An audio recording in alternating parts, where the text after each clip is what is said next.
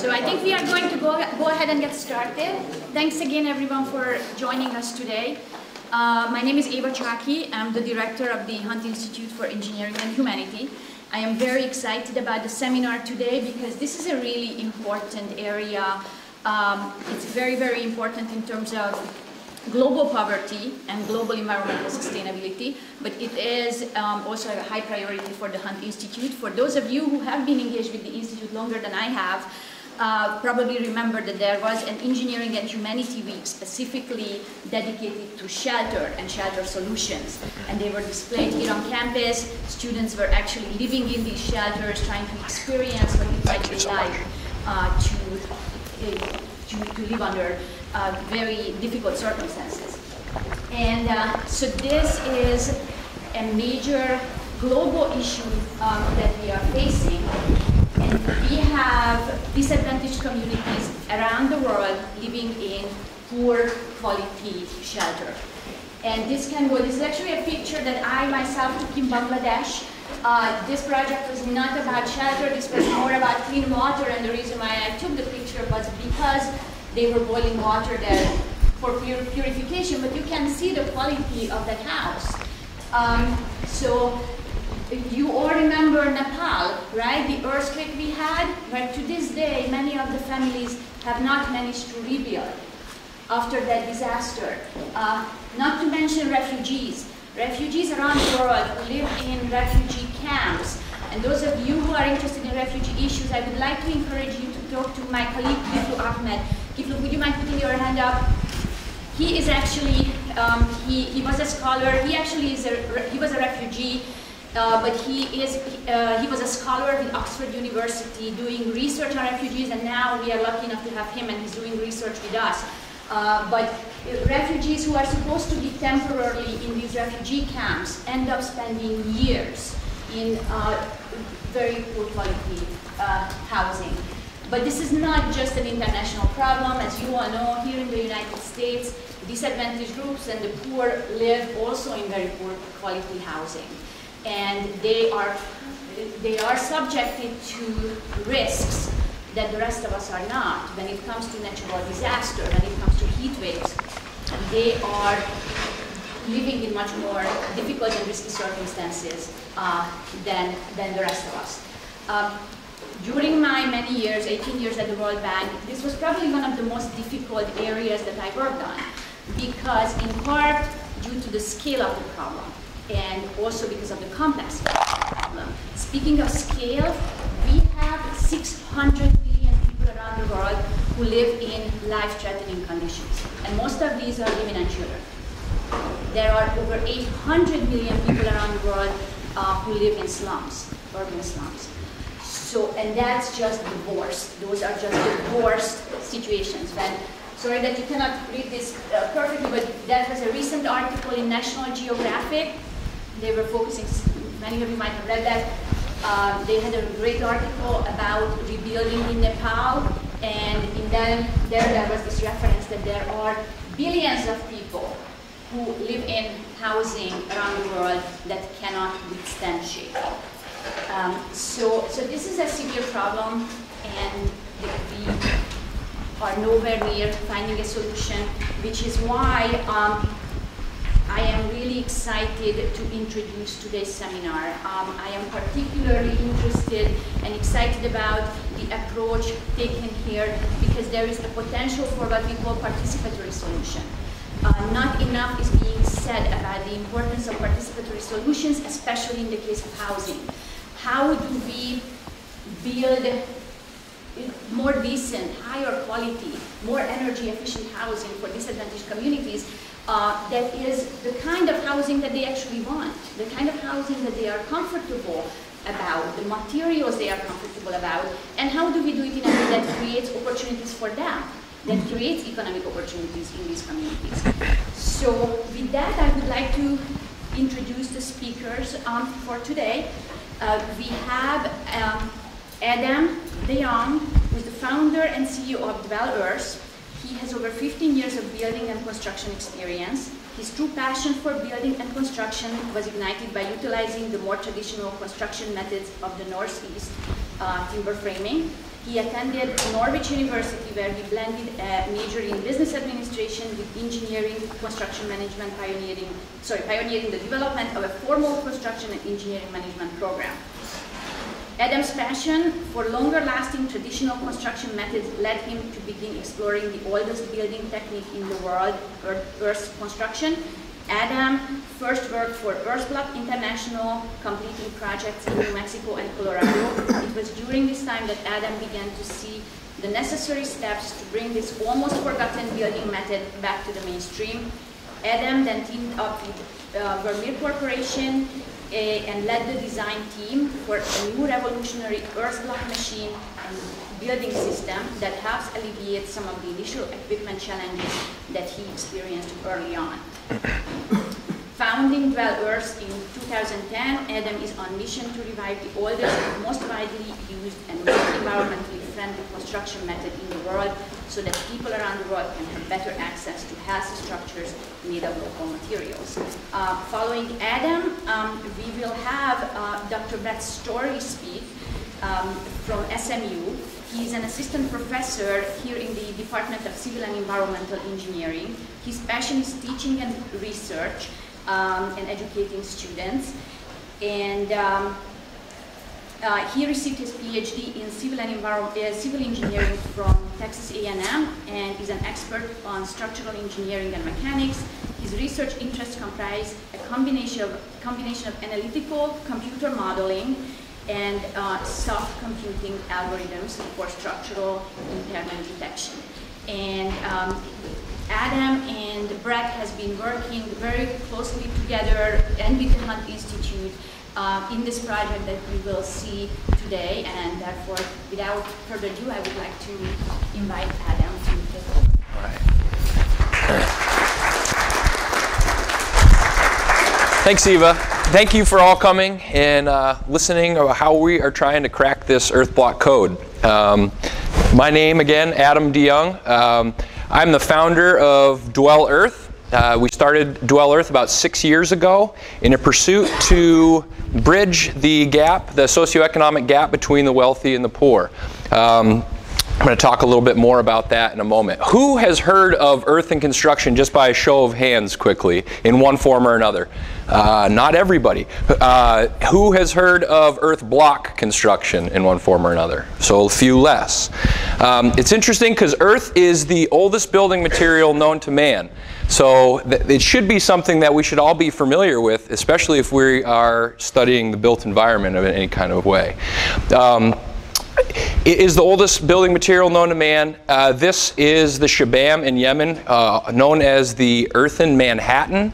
So all of these structures are built out of earth, nothing but earth. Uh, no stabilization of cement, nothing. So they're, they're massively thick walls, um, and that's how they're able to get that kind of height. Um, and this is built in the third century, and they're still standing today. Uh, so the longevity of Earth is often what people say, oh, well, you know, this, this, this is not going to last. Well, the oldest structures uh, that are still standing are made of Earth. This is in Taos. Uh, Taos Pueblo is the oldest continually inhabited structure um, in North America.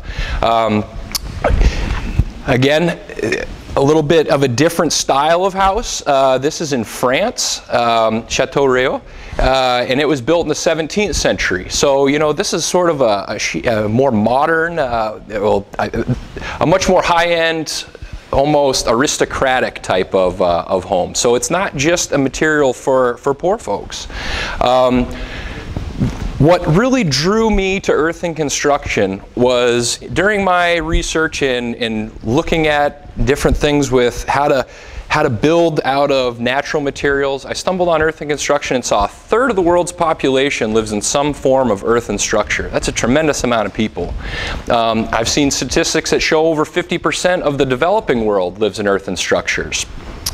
Um, of the third excuse me, of the third of the world's population living in these earthen structures, hardly any are in the developed world like the United States um, and Europe.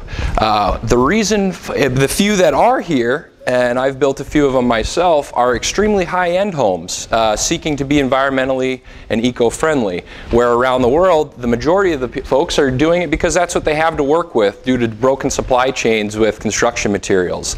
So they're using what they have around them that's readily available to try and, and build something to keep the rain off their families' heads.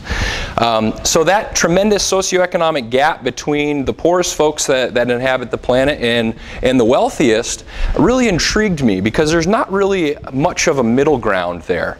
Um, the middle ground is, is growing more and more with living off the grid and those types of movements that are happening, but, uh, but there still is, is a pretty vast expanse in between the, those two economic groups. Um, so in forming Dwell Earth, we really set out not after an opportunity per se, but after a question to see why that big gap exists and how we can fill it in and if it's possible to fill in. Um, so this is an example of the types of, I think we missed a slide, no.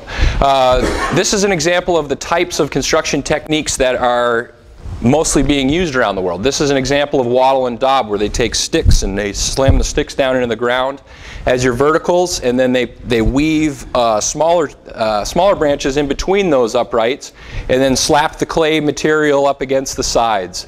Uh, this degrades over time. The water eats it away quickly. Every season they need to, uh, to do a tremendous amount of, of maintenance.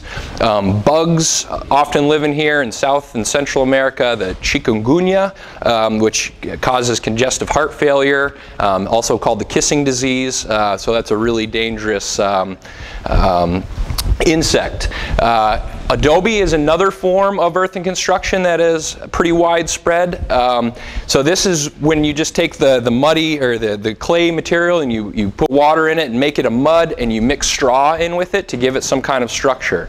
Um, these, these blocks are fairly weak. They're still not water resistant by any means or insect resistant by any means. And these little, uh, the little pieces of straw in them that, that help to hold everything together, it acts as sort of a, a superhighway for the bugs and insects to be able to get in there. Um, so this is a pretty typical structure of what we see um, in most of the developing world. This is what the third of the world's population is living in, uh, structures that look like this. Um, so with the same exact materials that they are using to, to construct homes that look like these and materials like these, we're able to make an earth block, which is able to achieve strengths uh, superior to concrete blocks in, in some cases. So um, this block here is probably around 1200 psi strength. Uh, concrete blocks are usually around 1900. Um, we've made blocks up to 2500 psi. Um, so you can make tremendously strong blocks uh, in, in building materials using this material um, but there's variability in it, right? There's, there's different types of soils all over the place. So that's, the, that's one of the hangups. Um, so essentially what we're making here is a sedimentary rock. Um, instead of thousands of years of it just sitting underground and the Earth's pressure and heat um, forming the um, geopolymers that hold everything together, we're using a machine, as you can see here, a hydraulically driven machine that really just squeezes everything together in a, in a rapid manner uh, so we can make one every 15 seconds. Um, so we are adding cement to the mix. Uh, about 5% cement is added to the mixture. That way we're able to, to be waterproof um, and we're able to get a much stronger uh, uh, resistance for, uh, for structural integrity. PSI. Um, so here is an example of the machine. Uh, this was, the machine was featured in Popular Science twice uh, two years ago. Um, and I, I teamed up with Vermeer after working with earth blocks in New Mexico and Colorado doing really high-end homes. Uh, the, the blocks we were using were a 10 inch by 14 inch block, so uh, bigger than this, and it was about, it weighed twice as much as this block. So as you're stacking that block throughout the day, it becomes very difficult. You get about two hours worth of good work from your guys because each block weighs about 45 to 50 pounds, so it's super heavy. Um, then you get up on your scaffolding and the work goes even slower. So um, that aspect of it, the machine we were using had a, was automated, had a lot of uh, electrical components on it, so we'd have a great day of making blocks. Uh, the next day we'd come and the machine wouldn't be working quite right, and we'd spend four hours chasing down one little wire that had wiggled out. So one of the big mantras in this uh, design of this machine is there's not a single electrical component on this thing. Um, it's just super simple hydraulic circuit that runs everything hooked up to a, uh, a diesel motor which starts with a hand crank.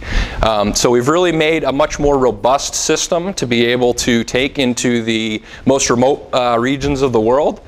Um, uh, some of the other aspects uh, that I saw being inefficient in, in that big 10 by 14 inch block that I was talking about, uh, it doesn't really fit well into the design community. How do you put reinforcing uh, measures into it? How do you tie your roof all the way down to your to your foundation?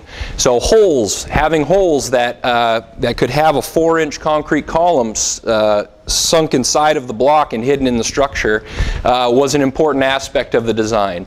Um, some, in some regions, Africa, interlocking style blocks that are just dry stacked are, are very uh, sought after type of, of building system. So we, we made this block to be able to be interlocked, um, to be able to be slurry stacked. Slurry is the same material as you use to make your block, just uh, like a milkshake consistency.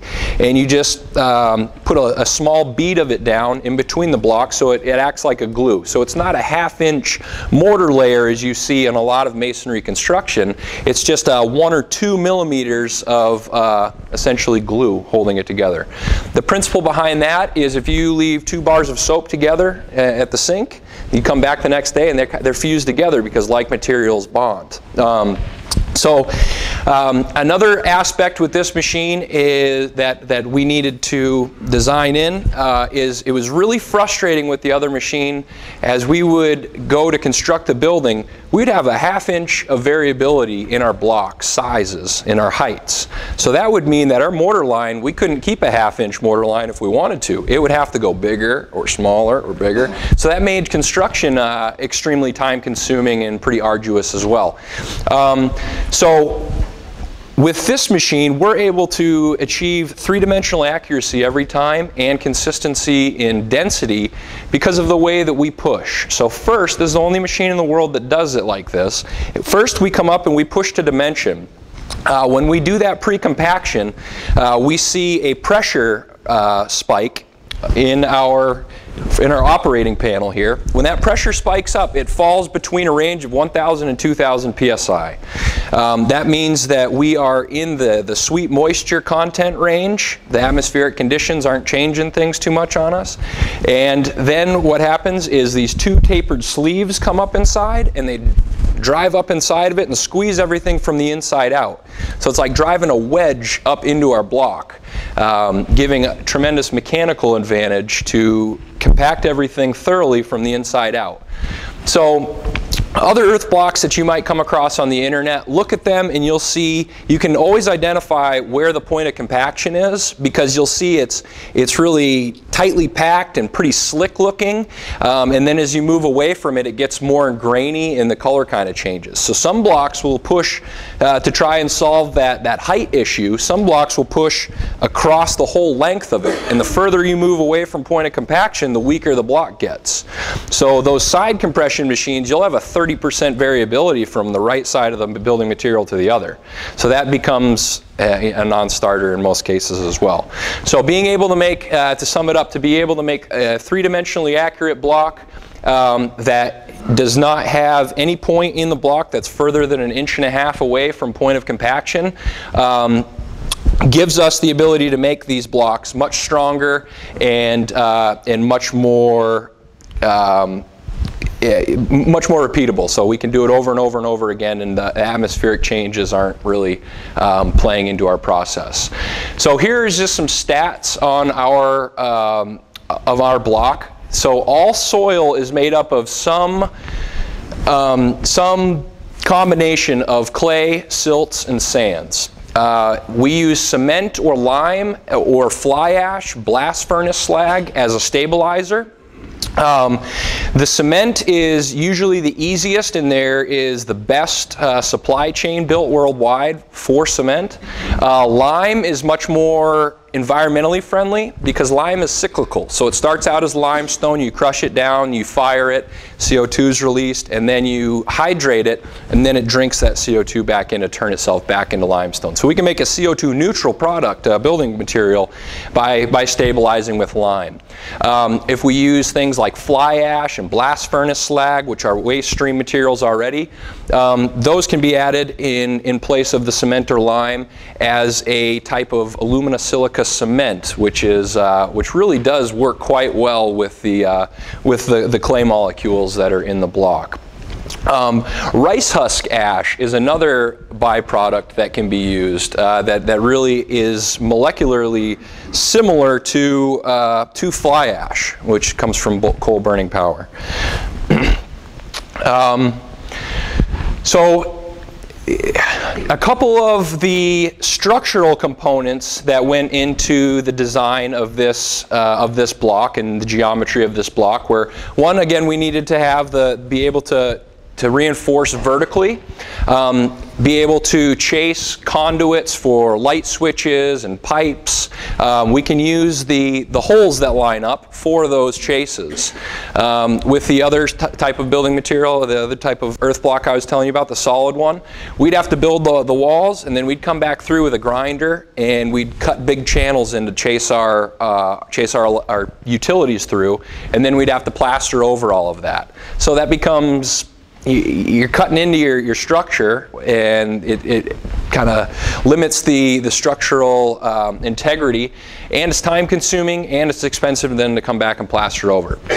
Um, and if there's any issues with your electricity, you know, wires or, or whatever later on, you can't pull new ones. So it's, uh, you're pretty stuck with it. So being able to pull utilities through, being able to reinforce vertically, and we can also reinforce horizontally because we left a space between uh, the bottom of our groove and the top of our tongue. so we're able to incorporate things like the, um, the, the, wire masonry ladder that is often called out in codes for uh, brick construction or CMU, you know, cement blocks. Um, we can hide that right in that channel and be able to put a, a mortar layer in there. Um, so we've been able to achieve a, a full-on building system with this and for lack of a better term, you know, we, we are trying to take this from sort of the hippie hobby world to something that can be understood by architects and engineers who are working in, you know, the, the mainstream built environment. Um, as you can see with, hor uh, with, with the reinforcements horizontally, um, we, can, we can hide little bond beams in our, in our wall by simply flipping the blocks over. So we'll start with our rails up from the foundation, and then when we get to our midpoint, we'll flip it over so we can have an inch and a half uh, concrete uh, beam that ties everything together all the way around, and you won't see the, the big, thicker mortar joints either. Um, strength. So we talked a little bit about you know variability from one side to the other. Um, strength is a is a tremendous one. We we want to be able to to have a, a, building material that mimics the strengths and properties of concrete blocks or fired bricks. Um, so that double compression is one of the aspects in uh, our production techniques that really makes our blocks uh, much stronger. Um, so this is a big dump truck that in this is in South Africa. Uh, this is a big dump truck that we loaded up with some blocks and drove it up on this block and uh, that laterite soil, the reddish type of soils is uh, phenomenal for, for this type of construction technique. Buildability. Um, around the world, many of the folks who are, who are using earth for their construction systems do not have any kind of formalized education, uh, vocational or otherwise.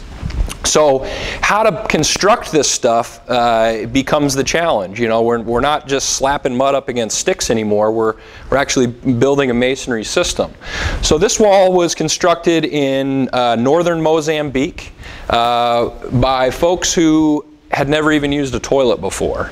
So this is the first time that they had any kind of masonry units in this village. Um, this was a, for a large oil company, Anadarko, um, out of Houston. And we were do, uh, doing prototypes for a relocation program for them.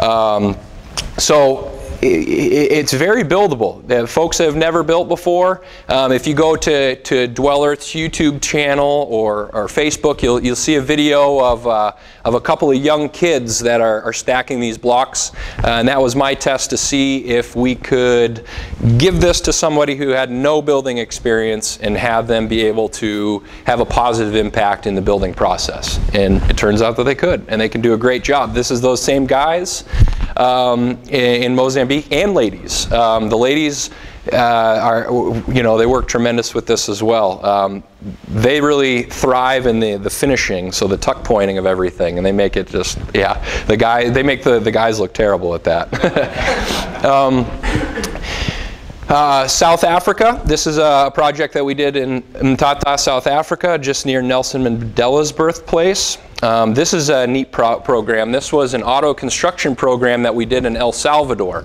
So uh, rural coffee farmers, this project was done on the side of a volcano. So we took a Land Cruiser and drug our equipment up on the side of this volcano.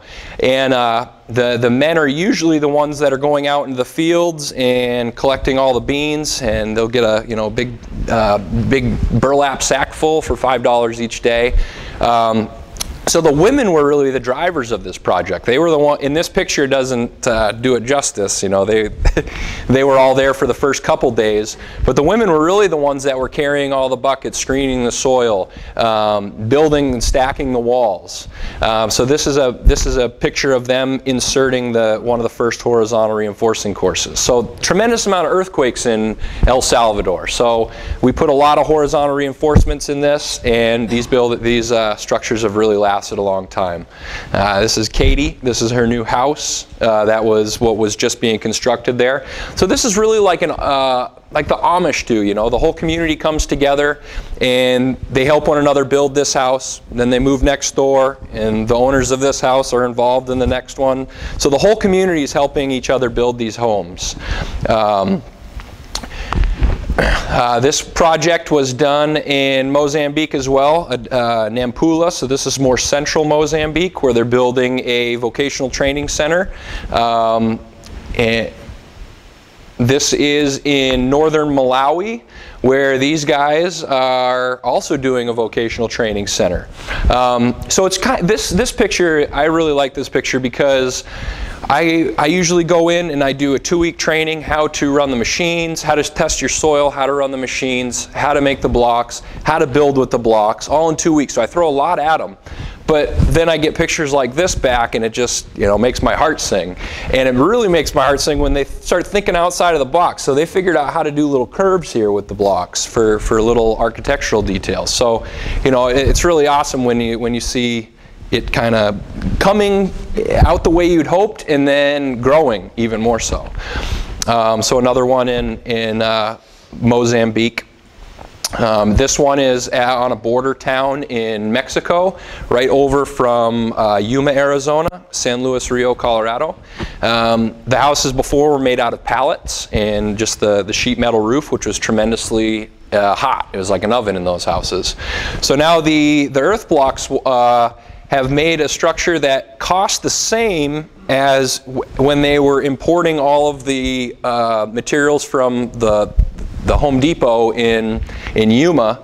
They're they're just making them all out of OSB and two by fours. It costs the same, um, but it's a much more structure has much more structural integrity, and it keeps the the occupants much cooler um, because as the days uh, go goes on, you can touch that wall and it stays cool. Um, the thermal mass of these blocks and the clay um, being able to absorb moisture uh, has the ability to always have an evaporative cooling effect. So the moisture that's coming in is slowly dissipating out and it's constantly keeping the blocks cooler.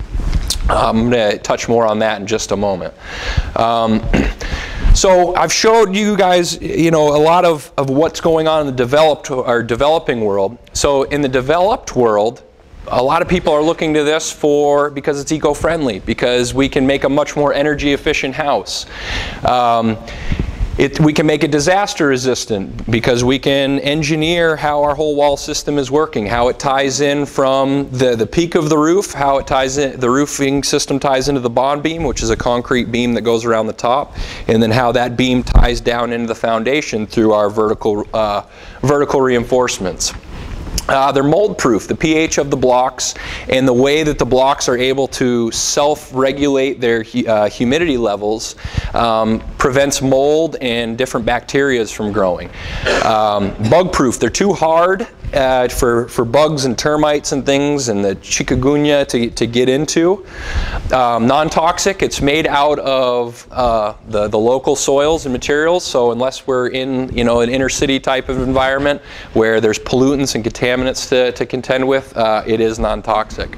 Um, fireproof, you can't, you can't light this on fire. We did, uh, I'll show you a picture here shortly of a uh, of a big game farm compound that I did in uh, South Africa.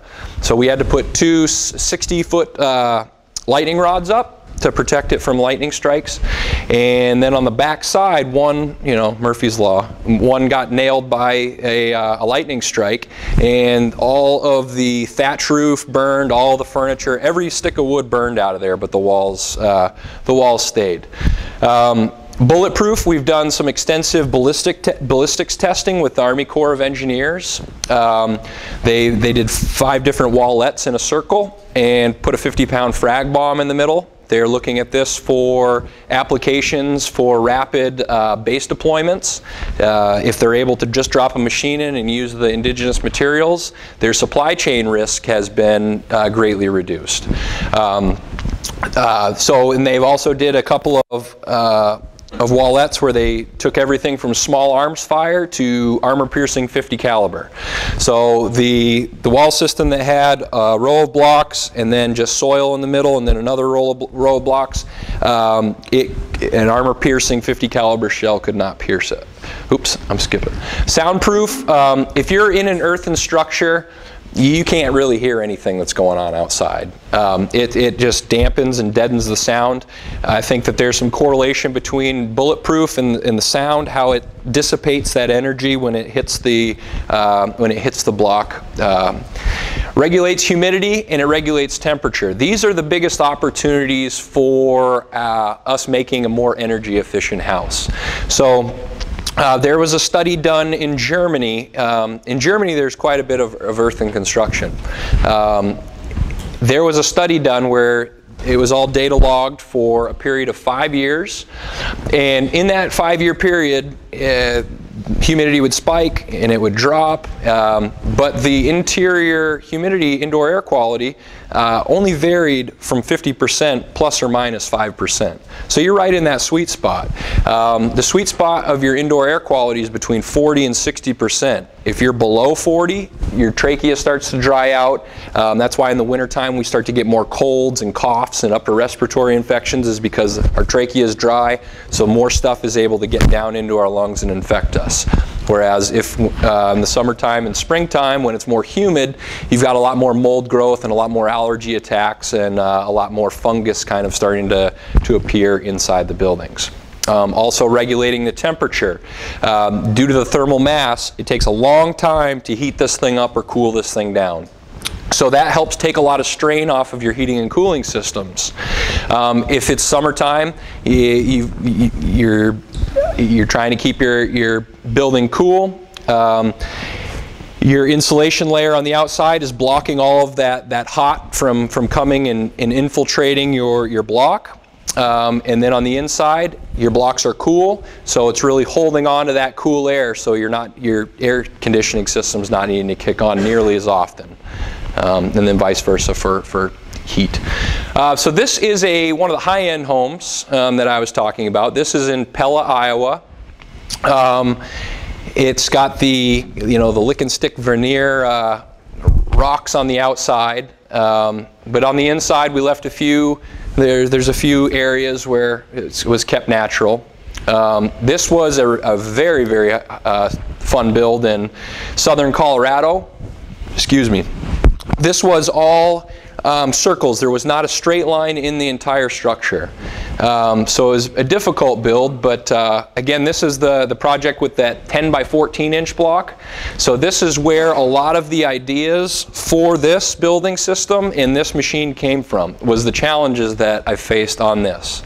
So this is a $2 million house because of a lot of those challenges. Um, there, there's so much variability in the wall system. The engineering for this thing was uh, just through the roof complicated because we had to hide big steel posts in and around adobes. And um, the, the, the, homeowners wanted this to feel like it just came up out of the earth so we couldn't have any you know steel or concrete or anything like that showing. So um, this is the inside of that structure. Uh, it really came out beautiful in the end, but we've got big um, vaults, you see, the, the big barrel vaults that go around corners as well. So it's, uh, it's a pretty architecturally uh, amazing building. Um, a lot of light, a lot of big boulders in this thing. So again, that mantra of, of uh, of keeping it with the earth. Here is the, a large game farm that I built in, in rural South Africa. Uh, Mokopane, it's about halfway between uh, Johannesburg and the um, Zimbabwe border. Um, so this is one big structure in the middle where there's a kitchen, living room area, kind of a common space, and every and then there's four chalets around it. Um, so this project was a dream of mine because I, I, got a lot of my experience through timber framing up north. So my big dream is to go to a lot and uh, harvest the trees that will go into the structure. So all of the all of these big upright posts are the trees that we harvested off of this lot.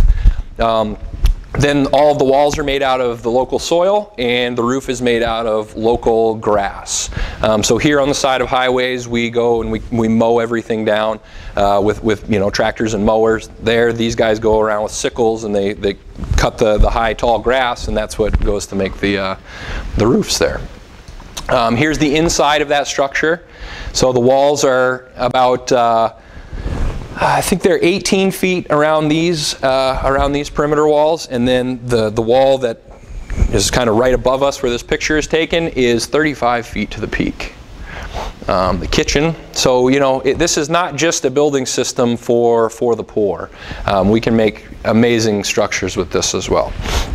So um, buildings are some buildings are some of the heaviest polluters that we have, or it's the heaviest polluter that we have for CO2 emissions. Um, this graph is um, by the U.S. Department of Energy and shows how taxing uh, buildings are on on our environment.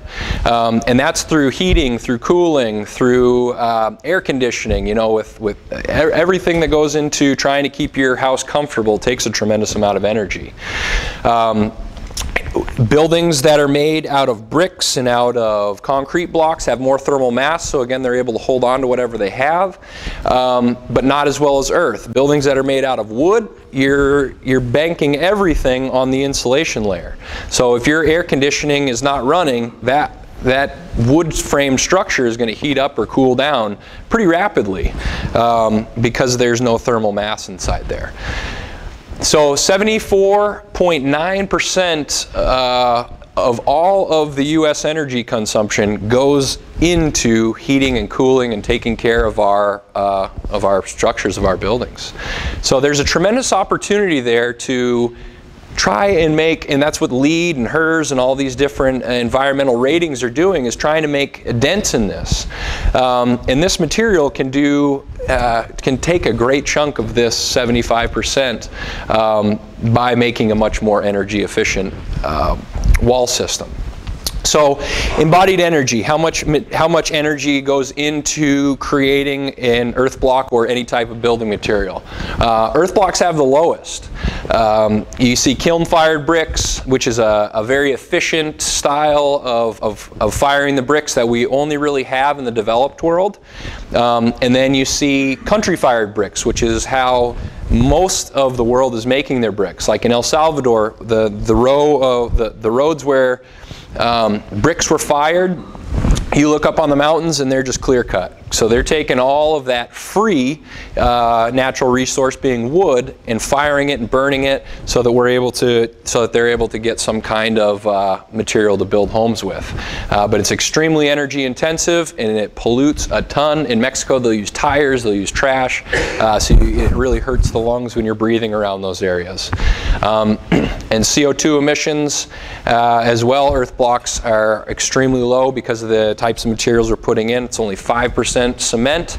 Um, if it's lime, it's even lower than this. So, and then um, concrete blocks are even are even higher because of the amount of firing in the cement itself. So the amount of firing in the cement, um, there's a whole bunch of different rock types and the, the duration that they need to fire them and the amount of energy that it takes to get them that hot uh, just is super energy uh, consuming and it puts out a lot of CO2. Um, so I've talked a little bit about thermal mass and how these structures are able to stay cooler and moderate humidity levels. Um, this chart is a good visualization of what's called the solar adobe study. Um, so there were three structures that were built uh, exactly the same, right next to each other out of cement, out of an adobe, and out of earth blocks. Um, this, uh, the ambient temperature during this study averaged 107 degrees, so it was in the desert's extremely hot environment. Um, the cement ended up being four degrees warmer, so it would actually heat up and, and actually gain heat from the, uh, uh, from the ambient temperature. Um, adobes stayed below uh, by 12 degrees, and then earth block stayed below by 16 degrees. So that passive cooling and the material itself really lends to uh, a much more energy efficient wall system without any kind of mechanical wires and switches and things. Um, so some of the challenges with, uh, with earth block construction and earthen construction in general is uh, since we've gone down this road uh, with cement and with uh, more modern materials, uh, the art of building with earth has been lost. Uh, one of the, the big um, components of that is and one of the most prevalent questions we get is, how do I know if I've got the right soil to make a good earth block house with? Well, this is a uh, soil gradation chart. So any soil that you can find in the world will land somewhere on this chart. Um, that becomes challenging when we're trying to figure out how to get our blocks into this ideal mix point, right? Um, how to amend it the right way, how to stabilize it. So that is what we are teaming up with the Hunt Institute and SMU to figure out um, how to make this much more rapid and intuitive. Um, when I began Dwell Earth, it was, you know, just kind of take and, and rub the, this together, put some water in it and kind of feel it, touch it. But there was no science to it. So uh, we developed a soils testing kit that fits into a little, looks like a little spy briefcase uh, that we're able to take out into the field and we're able to quickly get um, our particle distribution analysis. So how much sand, silt, and clay is in the, in the soil itself. Uh, we're able to make mini blocks. We're able to uh, design mixes much more efficiently. Um, but all of that still takes about a week to 10 days to figure out if you've got the right stuff to work with. And then longer if you want to start putting it through wet-dry cycles and uh, freeze-thaw cycles because it takes seven days for the, the cement to cure in the, in the block. So um, we need to figure out a way to make this a lot easier to use, uh, much more scientific, so that when we have a soil that is, say, right here, which is pretty good, uh, pretty good soil, how strong is it going to be when I go to make earth blocks with it? Uh, how water resistant will it be? How abrasive, uh, how abrasion resistant will it be? So all of those different factors play in uh, based upon the different types of soils that we have. So creating a tool that can rapidly analyze and give suggestions on how to stabilize and how to amend is, is what we are working on currently. So that is the first step and something that uh, in my research and going through all of these different periodicals and things has always been skipped over. Everybody uh, who's done earth block research seems to go to the end product. You know, let's take this block and let's put it in a wall system and let's shake it around and see what it does. But they're not paying attention really to the inputs uh, and, and, the variability of the inputs. So if we don't take that first step, then we can't get to the next step of standardization and really uh, and, and, getting thorough results or uh, accurate results in, in how these, you know, in-plane shear and things like that uh, actually play in. So quality control is really the first step. Um, another challenge is that there is no uh, worldwide accepted code for earth and construction, for rammed earth, for earth blocks. Um, there, there's no all-encompassing code. So Germany's got a code, Australia's got a code, New Zealand's got the most comprehensive code. Uh, we've got a couple here in the U.S. New Mexico's got a, a really poor code. Um, they call out for 300 psi for an earth block to, to, to need to meet 300 psi, I mean, I wouldn't put that in my house if you, if you paid me. so, um, uh, so we've really got some inadequate standardization. But again, we must take the first step to be able to go through that next step and standardize everything. Um, and then the next phase is automation. So we, we talked about this, this has been really successful. We, I've traveled to 18 countries and, and set up different projects for a lot of uh, nonprofits and NGOs. Um, everywhere from Mongolia, Saudi Arabia, Iraq, um, all through Africa, Central and South America. Um, and where labor prices are low, we can make blocks for 25 to 40 cents, depending on that labor uh, that labor rate. Cement costs around the world are pretty are pretty steady. Um, however, as we come back to the US and people are looking at it here and wanting to be cost effective, there's a lot of labor involved in it. You know, how we batch the, the soil into the mixer and how we need to take the block off the machine and stack it on the pallet. Um, so that labor cost drives up the price here. So where we are consuming a tremendous amount of energy um, in houses that are built the, with the, the regular materials that we're using now, um, a barrier to getting a better wall system really becomes the, the cost of the block itself. So here we're able to make a block for about a dollar to a dollar 25. So automation is a area that we are working on currently where we're able to reduce the amount of people that it takes to, to spit out these blocks here. Because um, one, we're, we're not used to that type of day in, day out manual labor like most of the world is. Two, it's driving up the cost. And, um, and in other places, you know, the job creation is, is, a huge, uh, is a huge need. So auto construction programs and things like that can still work, but we just need to, to tweak the, the equipment setup just slightly so that we're able to, to fit that into our context. So we're about a year away from, from rolling out our completely automated system. Um, and then partnerships. So when you're driving around, there's tremendous amounts of construction going on in the Dallas area. And for these big skyscrapers and things, they've got to go and they've got to take out a tremendous amount of soil, and then they've got to truck it across town and find some place to dump it, and then they've got to pay to dump it, um, and then uh, it becomes an expensive endeavor. So through partnerships with construction companies, we could help alleviate their pain of needing to go and, and tip and pay all these tipping fees, and it would help to uh, offset the cost of, uh, of, of, getting our, our uh, input materials. So those partnerships with uh, large construction companies here will also help drive the price of our blocks way down. So um, that is uh, our overview, and I will pass it off to, to Brett now to uh, show how we are combating the biggest challenge of the quality control.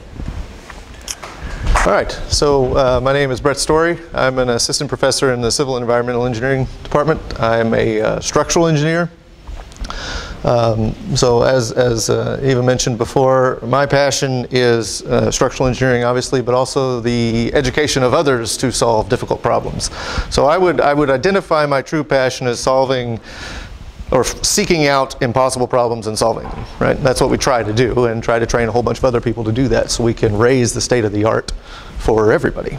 Okay, and so uh, this uh, opportunity has come along, and it's just been tremendously enjoyable. Now, uh, you just heard a lot of really good information that you can't get very many places. Adam is a wealth of knowledge that I have not encountered before in this area. I, I learn more from him in, in 30 minutes than he can learn from me. I'm, I'm certain of that. So. Um, I'll just try to keep up. All right, so. Uh, so Adam laid out some of the challenges with uh, CEB, right? So I think we're all pretty convinced now on the pictures we've seen and uh, some of the awesome things he's done around the world that this is a this is a really awesome solution, right? But there are there are challenges. So uh, one man's challenge is another man's opportunity, something like that. So that's the way we we look at this. So what what are the challenges from the structural side? Structural performance. The very first thing we have to ask is, is this building that we're going to build safe, right? If it can do all these other things, but if it's not safe, nobody's, nobody's going to want to be in there, right? And so uh, there are some specific questions. Uh, what is the site-specific compressed earth block strength? This is obviously dependent on the soil that you're, where you're building, right? This is a, a, huge issue, okay? The second question is, all right, if we know what the soil is there, can we achieve field compressed earth block strengths comparable to more pro prolific building materials? Like this building, you see a lot of concrete here. We're really, as engineers, structural engineers, we're really good at designing concrete buildings, timber buildings, uh, steel buildings, that sort of thing. We're confident in our ability to do that, all right? Can we get there with the, uh, the CEBs? Uh, then how do we optimize structural configurations to capitalize on the strengths of CEBs? You saw a lot of cool kind of arch vaulted uh, uh, structures uh, that Adam's already built. We know we can do it. We just have to convince the everybody that we can do it repeatably and in a standardized way. Uh, there's also issues of energy efficiency. So it's kind of the same questions, just uh, uh, termed in uh, or given in terms of energy efficiency. Does the soil content at the site affect how energy efficient it will be? Can we optimize the structural configurations again, right, to capitalize on that? Okay, so all of these challenges can be addressed through engineering analysis and design. Those are two different things, both critically important. You can't, you can't do a design unless you've done some analysis, right? So uh, in talking with Adam, the, the critical need that we have established is that of standardization. How do we do this? Uh, how do we have do a standard framework in one site that translates to another site that translates to another site? Okay. Um, so scalable engineering analysis design requires standardized tools, uh, standardi standardization and efficient tools. Okay, we have standards for lots of different design codes. So there's masonry uh, standards, there's concrete standards, steel design. So my students are starting to get nervous because here's books they've seen before. Uh, from the energy side, we have uh, ASHRAE, you know, deals with energy things, and then kind of the uh, the head the head of it all is the International Code Council that does the International Building Code, all these all these big codes. So we're inundated with codes except for CEB construction. We do not have a code for that, a unified code for that. Uh, so what are the analysis and design tools? Well, uh, these, these design manuals, those prescribe appropriate analysis and design procedures that anybody with an engineering background can do. So if you're going to build a steel building, you go to the AISC code and you do what it says. If you're going to build concrete, you do that. So we need these, uh, we need analysis and design tools for this, this new cool um, uh, compressed earth block construction. So you can have computer programs that do analysis for you, charts, tables, design aids, that sort of thing. All right, so if you're a faculty member, you're looking for research opportunities, which I always am, and this is certainly one. So the goal here is to establish standardization frameworks for all pertinent analysis, design, construction, and implementation stages of CEB construction. That's our big goal. If we can accomplish that, then we're on our way to making this a scalable, widespread uh, building type. The first step, as Adam laid out, is soil classification. What in the world do we have at the site where we want to build a building? We have to know that. If you don't know that, you're dead in the water. Okay? And so we need methods for rapid assessment. This task of soil classification is not an unsolved problem. We are really very good at that at engineer, as engineers. We classify soils all the time. USCS classification, AASHTO, which is the highway side of things, has their own classification. But what you have to do for that is a bunch of laboratory testing. Okay, so I'm going to take a second here to point out Jay Sitton. He's the uh, uh, graduate student working on this. He's the brains behind the operation, and so he has done a lot of this soil testing and some of the uh, analytical work that you're going to see. So he can tell you exactly what goes into all that, uh, how time intensive it is to do these classifications. So what we want to do is a method for rapid assessment. So I'm going to, so visually what this means is you have a bucket of soil, right? So you go out to your site and you get a bucket of soil or a pile of soil or whatever it is. We want to know, based on that soil, what is the mix acceptability? Will this make a block? And then beyond that, what can we add to this to achieve a certain strength? That's what we really care about. You want a certain strength. That's what all the design codes want. You have to have at least this much strength or you can't build the building. Right? So we want to we want to know the relationship between quantitative and qualitative data right? So numbers about the data, or numbers about the uh, soil somehow. That's what uh, lab testing gives you, ASTM testing, standardized testing. It will give you numbers about things. But what is also important is what Adam touched on earlier, and that's qualitative data. How does the soil feel? What happens when it gets wet? Is it kind of slick? Is it shiny? Is it dull? Those sorts of things are very important keys to determining if it's an acceptable mix or strength. So I don't want to throw out any data. I want the numbers. I'm an engineer. I love numbers. But I also want how does it feel? How does it look? Okay? So the question is, what is the relationship between those two things? This is a very difficult problem to solve. Uh, our way of solving that currently is blank, but it's really this man, right? So when he is, he has got all this experience, he loves to go out and, and do this. And so I've seen him do it. It's kind of kind of creepy almost. So he, he gets down in the dirt and he kind of eh, needs five cups of water, right? And a pinch of salt or something like that. No, it's not no salt, but uh, but it is kind of like baking. It's an it's an art. He has honed his skills to be able to take that qualitative data and also developed his little spy briefcase of simplified methods to get some quantitative data. And based on that, he can tell you if it's going to work or not, and, and this sort of thing, okay? The problem, the only problem I can see with Adam is there's only one of him, right? And so unless we want to ship him to every site, and it'd be hard to do if we wanted to do two sites on the same day, right? But, so it's difficult. So how can we not replace Adam, but replicate Adam in some, in some way. And that is, uh, the way I'm going to go through is something called neural networks. Okay, now that's a, uh, can be an intimidating thing. It's really not. We'll, we'll look through here uh, shortly and see that it's a very straightforward method to relate this qualitative and quantitative data to anything we want to know about the block.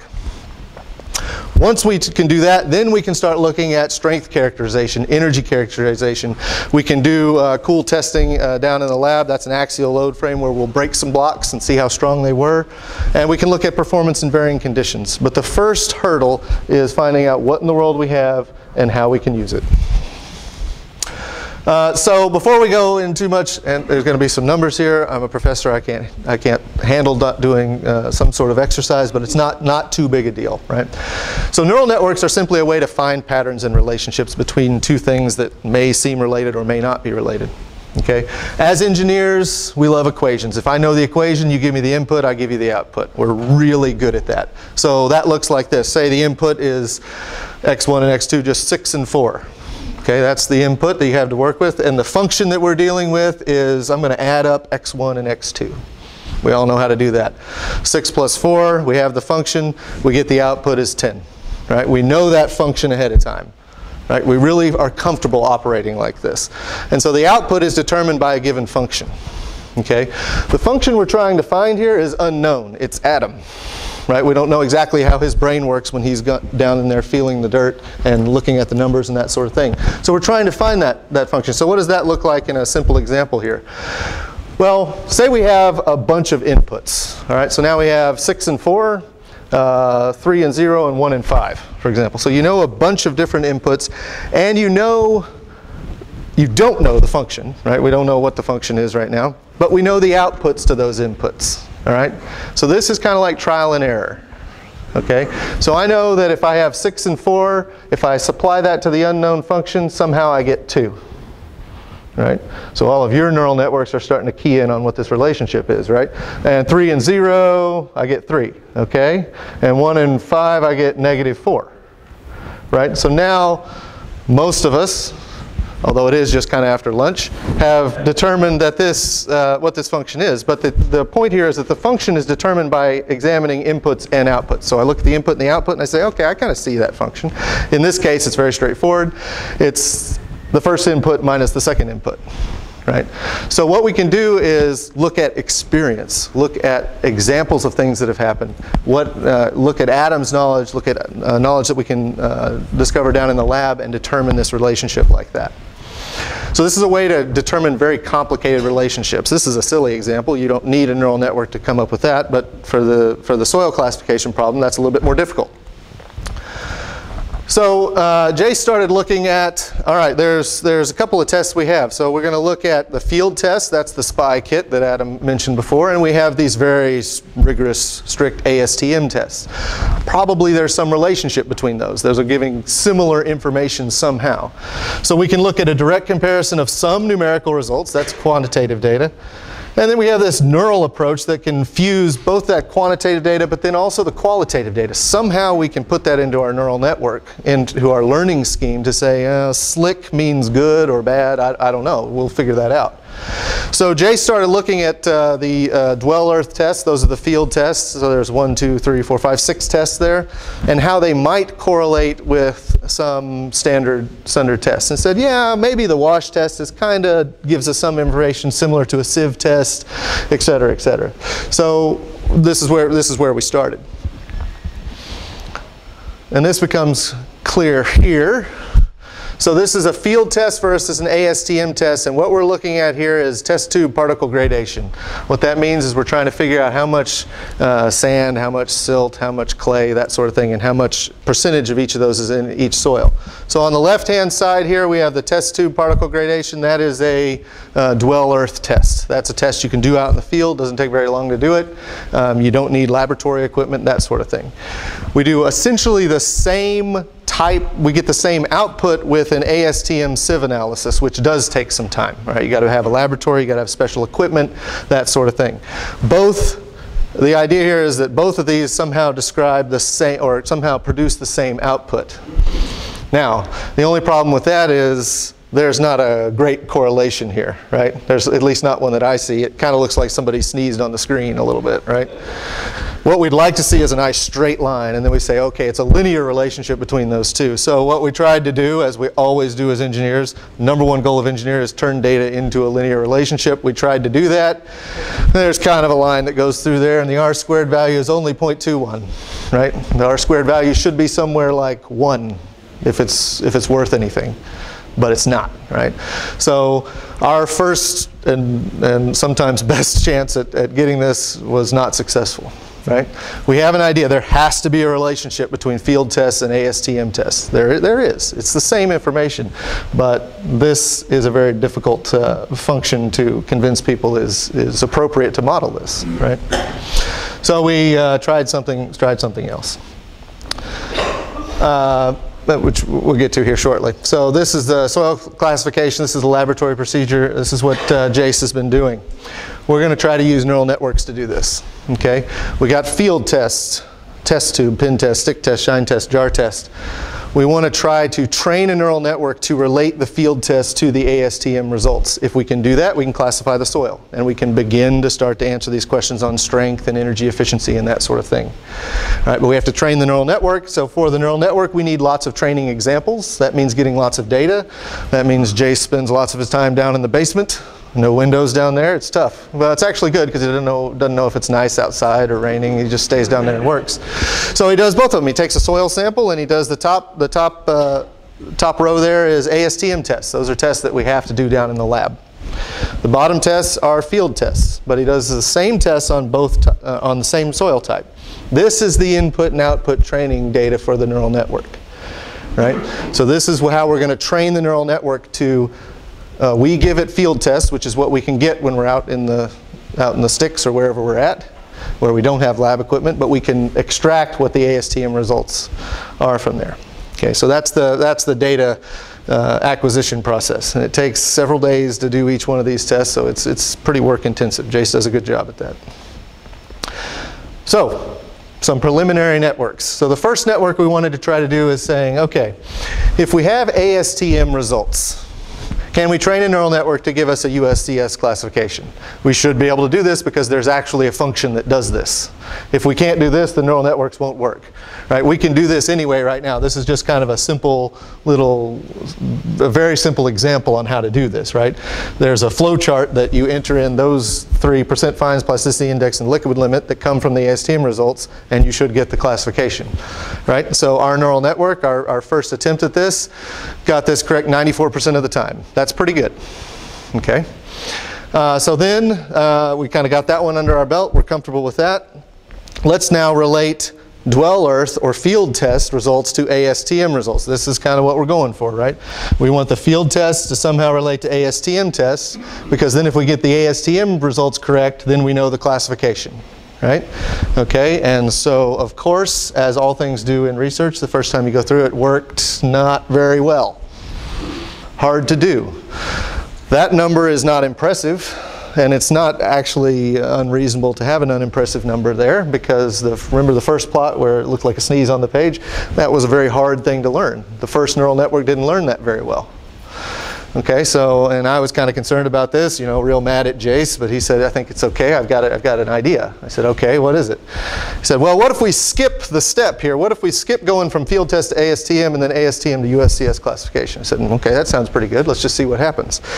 So what we decided to do um, is look at field tests and try to train a neural network to go right to USCS classification, skipping over that kind of complicated step. Okay, and so we have uh, out of 23 possible USCS classifications, right now we have soil that occupies 11 of those distinct classifications. So it's 11 soil types is what we have. And those are represented in 19 different soil samples. Okay, so the neural network here, after he got everything trained and it does very well, now we're back up to 94%. So skipping that step that you don't need to don't need to worry about. The neural network has enough uh, enough power and is robust enough to go right directly from field test to USCS classification. So we're kind of cutting out that that middle step. Uh, here are the results of the, of the classification. So here, uh, the left-hand side is the known classification. That's what we know we have because we, we, we know this data so we can do the USCS flowchart and get what it is. And the neural network using only Dwell Earth field test data gives us, in every case but one, uh, the correct, correct soil type.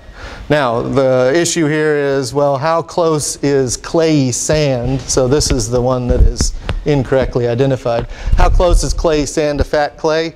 It's pretty close.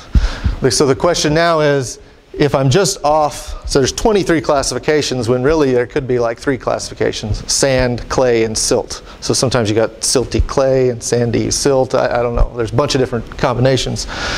So does that incorrect response really negatively affect how this network is going to predict strength? We don't know. We haven't started that. But we're, we're optimistic that this is a, certainly a very uh, promising approach. Uh, so looking ahead, we're going to continue to collect soil data for model improvement. My pictures are less impressive than Adam's pictures, right? This is just a picture down in my lab of a bunch of dirt, right? But that's okay. Uh, we're, you know, we're, we're down in the trenches doing it. All right, so we have to collect more soil. And so the issue here is that a neural network can only learn things that it has been taught, right? You can't, you can't teach it over only uh, 11 classifications and then ask it some classification it's never seen before, right? That's not, I mean, that's pretty intuitive. A lot of us have always uh, have had exams where we thought it was going to be over topic A and we get there and the professor was really ornery that morning when we wrote the exam and it's all over exam uh, topic B, right? And we don't do very well on that because we didn't study B, we studied A, right? Now I would never do that but uh, it happens, right? So you can only train, it, the network is only going to do well on things that it's seen before. So we need to get lots more soil. So every, every time we can, every time I see Adam, we ask him for soil, right? And he usually has some, just to give to us. Okay, once that's done, we're going to investigate different uh, uh, mix designs and what their strengths are down in the lab. That's that's Jace's next task is to create, uh, create some blocks. So here you see kind of a load frame. This isn't my lab. This is a, uh, a different lab. We haven't built a, built a frame or anything to do this. But here they- they're doing uh, uh, CMU, right? Well, we want to replace that wall with uh, compressed earth blocks and do similar tests, both at the component level, just seeing how strong that brick is, and then also how it behaves as a system. Those are two different, uh, different metrics. Um, so this is this is this is the idea where we're headed. We have a pretty good idea that we have solved, or at least attempted to solve the idea on, or, or the problem of assessing what we have and what we need to do to that soil to achieve a certain strength. And once this is done, then we can do all these wonderful things Adam is doing on a on a much bigger uh, much bigger scale. Um, just quickly, as as all faculty are interested in, this is kind of the, some of the output that's occurred. We've got proposals uh, with the EPA and NSF uh, pending. Uh, Jace has been giving nice presentations. We're going to uh, present some of our published work at a conference uh, in, in- later in the spring. And so this, I just want to say, has been a very good experience from the faculty side, from the academic side, uh, working with the Hunt Institute. This is how it should work, right? We've got really cool, cutting edge research happening. A student is doing all of it. He's, he's having to get his hands dirty and then go learn about neural networks and do that. So it's, it's, it's both things combined. And over here, then we come over and we can see it in use almost immediately with somebody who's out actually doing things with it. This is what we want, right? This is sometimes hard to do in academia right? And so to my students, yes, all that stuff I'm telling you can be used. It is real, right? And you've seen some of those pictures today. Uh, so that uh, certainly is the end of my uh, prepared remarks. So I think Ava has some some.